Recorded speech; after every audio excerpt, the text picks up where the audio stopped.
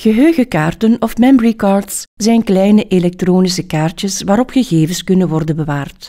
Geheugenkaarten werken op basis van flashgeheugen en hebben dus geen bewegende onderdelen. De belangrijkste types zijn Secure Digital, beter bekend als de SD-kaart. Dit is momenteel de meest gebruikte geheugenkaart. Verder zijn er nog Compact Flash, Smart Media, Multimedia Card, MMC en Memory Stick. De kloof tussen harde schijven en flash geheugenkaarten wordt langzaam kleiner.